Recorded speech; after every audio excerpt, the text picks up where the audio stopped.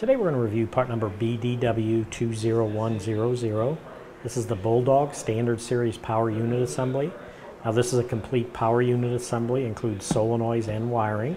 It is compatible with the Bulldog Standard Series 8,000 pound through 12,000 pound winches, except the 10,000 pound. It is an all plastic box, has a lid on top of it. Inside is a double solenoid configuration. On the very side here you can see the plug it is designed to use a twist lock plug. It is a twist lock plug, and it's designed for the original 20081 twist lock hand controller that you plug into there to operate your winch. Now this version you can see has the mounting brackets on it. It is designed to mount on the winch on the tie bars that run over the drum of the winch. You can see it has the ground wire on this side and it uses a very heavy duty 2 gauge wiring for your connections to your winch and to your battery. And they also have the terminal boots that once you make your connections, you slide over there to protect your connections from the elements. But that should do it for the review. Part number BDW20100.